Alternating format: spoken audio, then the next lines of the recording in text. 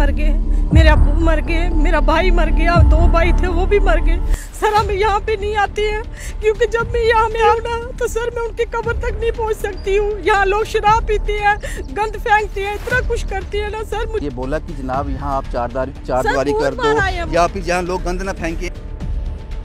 तो हमारी क्या हालत बनेगी? यहाँ पे ये देखो वो कितनी तकलीफ़ में है जिनके ऊपर लोग रात को आके गंद फेंकते आके।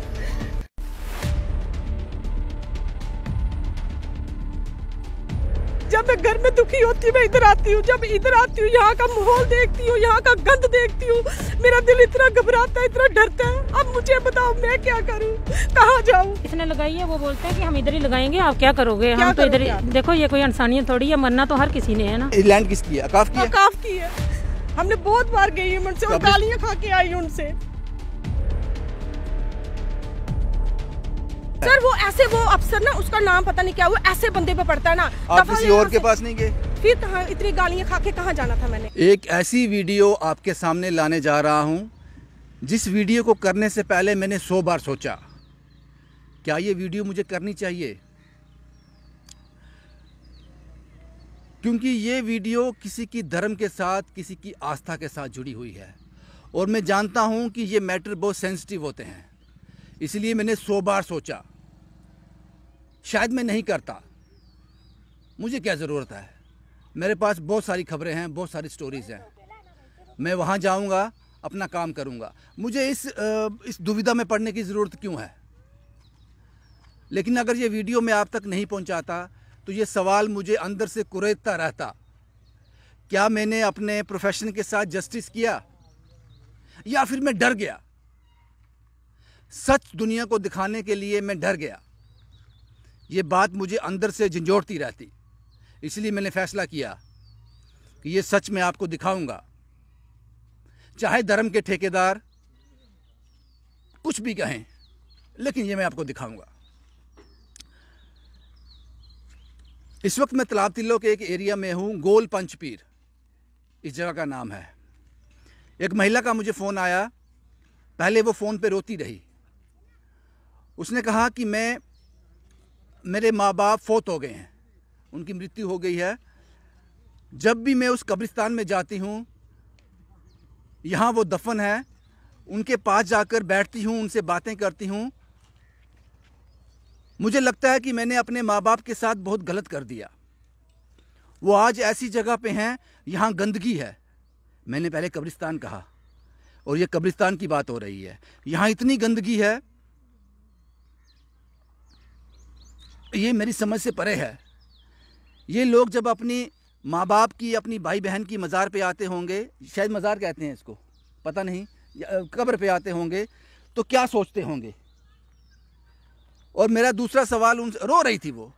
मेरा दूसरा सवाल उनसे ये था, इन कब्रिस्तान को मेंटेन कौन करता है? ये किसी की ज़िम्मेदारी होती है? उन्होंने कहा, अकाफ की। एक डिपार्टमेंट है अकाफ, उनकी ज़िम्मेदारी होती है। मैं कई बार उनके पास जा चुकी हूँ। लेकिन कोई फ़ायदा नहीं हुआ। उसके साथ साथ एक चीज़ आपको मैं और बता दूँ। इस कब्रिस्तान के बिल्कुल सामने एक और कब्रिस्तान है। ये तस्वीरों में आप देख लो पहले। एक कब्रिस्तान की तस्वीरें देख लो। यहाँ मैं बैठा हूँ, यहाँ गंदगी है, हालत खराब है। और जो दूसरा कब्रिस्तान है इसके सामने, उसका रख रखाव बहुत अच्छे से है। वहाँ जाओगे, सुकून मिलता है कि अपनों के बीच आए हैं जो हमें छोड़ के चले गए। और दूसरी बात आपको बता दूँ, शमशान घाट, कब्रिस्तान, ये दरवाजे हैं जनाब, ये खिड़कियाँ हैं उस अल्लाह तक पहुँचने के लिए। जब आपने इस दुनिया को, इस संसार को छोड़ना है तो शमशान घाट और कब्रिस्तान वो खिड़कियाँ हैं, वो दरवाजे हैं जो आपको भगवान के, खुदा के, अल्लाह के दर की ओर ले जाते हैं। उसके बाद परिवार कहता है कि हमारी ज़िम्मेदारी यहाँ तक थी। इसके बाद खुदा के हवाले। लेकिन जब वो इनकी, इन कब्रों पे आते हैं, यहाँ इतनी गंदगी है। इसलिए शायद वो महिला रो पड़ी। वो महिला रो पड़ी कि हमारे पुरखों ने, हमारे माँ बाप ने ऐसा क्या गलत किया था कि उनको ये जगह नसीब हुई है। ये कब्रिस्तान है, सबसे पाक जगह। और ये अकाफ की ज़िम्मेदारी है कि इसका रख रखाव करना। क्यों इस हालत में है? ये कब्रिस्तान क्यों इस हालत में है? वो भी बात करते हैं उसी महिला से जिसने मुझे कॉल किया था। आपका नाम क्या है? सर परवीन चौधरी। परवीन जी क्यों रो रही थी आप फ़ोन पे? पूरी बात क्या है? क्या कारण है? सर मेरे मम्मी मर गए मेरे अबू मर गए, मेरा भाई मर गया, दो भाई थे, वो भी मर गए। सर हम यहाँ पे नहीं आते हैं, क्योंकि जब मैं यहाँ में आती हूँ ना तो सर मैं उनकी कब्र तक नहीं पहुँच सकती हूँ। यहाँ लोग शराब पीते हैं, गंद फेंकते हैं, इतना कुछ करते हैं ना, सर मुझे इतनी प्रॉब्लम होती है, परसों शब कदर था तो मैं यहाँ पे अगरबत्तियाँ जलाने के लिए आई। जब यहाँ पहुँची, सर मैं इतनी घबरा गई कि अगर अंदर जाऊँगी तो मुझे सांप काट देगा, बिच्छू काट देगा जब मैं अंदर गई तो कुछ चीज़ें इन कब्रों पर थी तो सर मैं यहाँ पर कैसे जाऊँ, कैसे पहुँचूँ यहाँ पर? सर मुझे इतनी मुश्किल है। सर मेरा कोई नहीं है दुनिया में सिवाय खुदा के और सिवाय इनके। जब मैं घर में दुखी होती हूँ मैं इधर आती हूँ। जब इधर आती हूँ यहाँ का माहौल देखती हूँ यहाँ का गंद देखती हूँ। मेरा दिल इतना घबराता है इतना डरता है। अब मुझे बताओ मैं क्या करूँ? कहाँ जाऊँ? आप इसके लिए किसी डिपार्टमेंट के अकाफ की ज़िम्मेदारी है ये आपने कहा? हाँ, आप उनके पास गए? गई थी। उन्होंने बहुत बदतमीजी करके हमें भेजा था।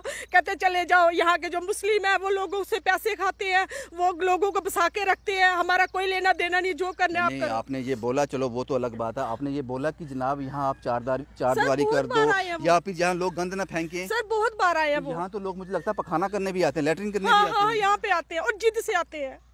तो फिर अकाफ ने जवाब क्या दिया इसका? उसने कहा हम कुछ नहीं करेंगे। क्यों नहीं करेंगे? पता नहीं सर उनको पूछो। नहीं नहीं आपने बोला ना कि ये, ये लैंड किसकी है? अकाफ की है? अकाफ की है। हमने बहुत बार गई हूँ उनसे और गालियाँ खा के आई उनसे।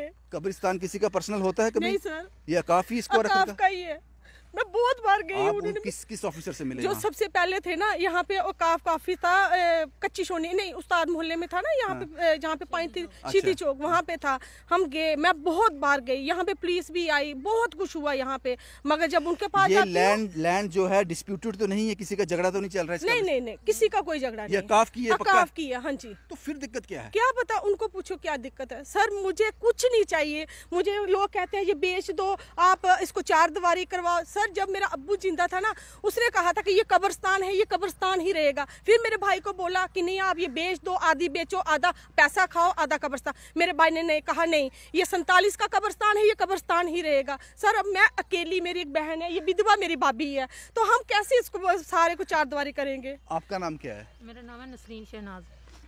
आपके पति भी यही जी जी हाँ, उनकी ये भी यही दिलावर खान उनका नाम है मेरे हस्बैंड ने उनकी डेथ हो गई है। आप आते हैं उनसे जी जी उनके पास आते हम आते हैं जो हमारा दिन होता है? बड़ी ज़्यादा इधर हम ये थोड़ी सी जाड़ियाँ उखाड़ी हैं लड़के ने हम्म। इधर साथ में रहता है फिर हमने इधर आके अगरबत्ती वगैरह जलाई मगर यहाँ आके सिर्फ़ रोने के अलावा और कुछ नहीं मिलता। हम यहाँ आ ही नहीं सकते आप खुद देख लो यहाँ की हालत। देखो। ये ये तो म्यूनसिपैलिटी का ये गंदगी यही रहती है। हाँ ये- सर आज उठाई है। आज उठाई है वो उन्होंने। जिसने लगाई है वो बोलते हैं कि हम इधर ही लगाएँगे आप क्या करोगे? क्या हम तो इधर ही देखो ये कोई इंसानियत थोड़ी है मरना तो हर किसी ने है ना? तो ये कब्रिस्तान थोड़ी है आप खुद ही देखो। हम तो चाहते हैं हमने भी यहीं पे दफन होना है हमने कहीं और थोड़ी जाना है। आप ये बताओ कि अच्छा अगर हम मैं मर जाऊँ मरने का कोई नहीं मैं कल मर जाऊँ मुझे कहाँ दफनाएँगे ये?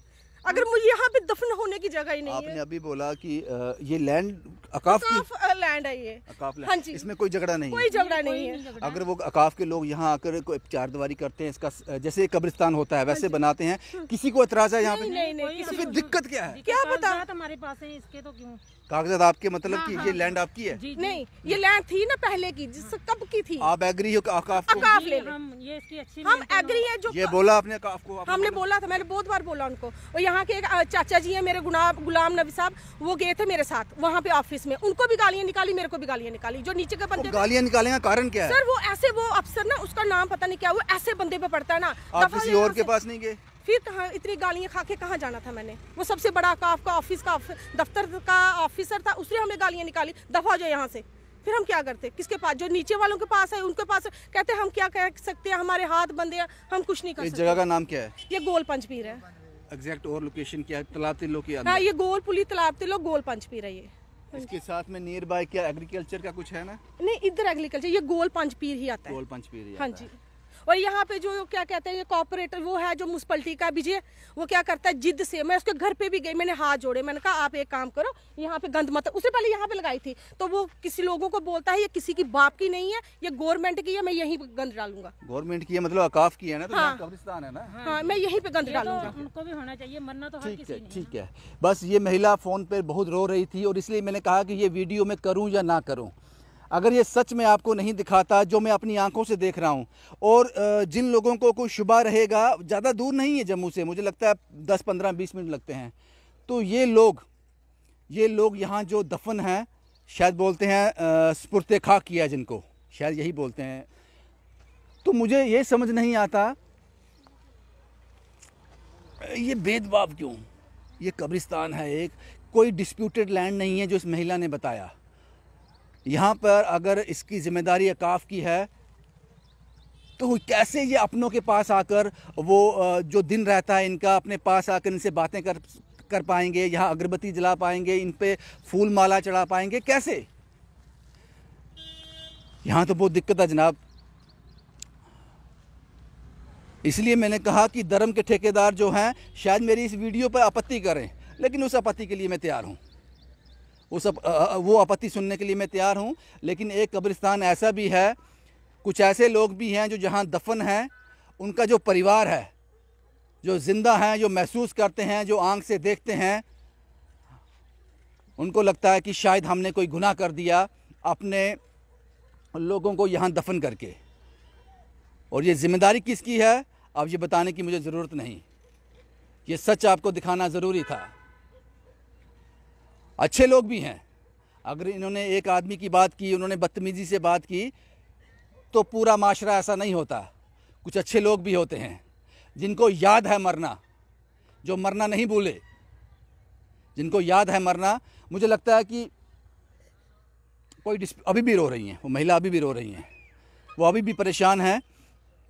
मुझे लगता है कि जैसा कि इस महिला ने बताया कि कोई डिस्प्यूट नहीं है अकाफ यहाँ पे इसको अ, चार दीवारी करके एक एक अच्छे ढंग से जैसे कब्रस्तान होता है, वैसा रखा जाए। उम्मीद करता हूँ कि कुछ अच्छे लोगों तक ये वीडियो पहुँचे और इस पर एक्शन हो। शुभम कुमार के साथ Ravinder Singh, the State Sentinel के लिए।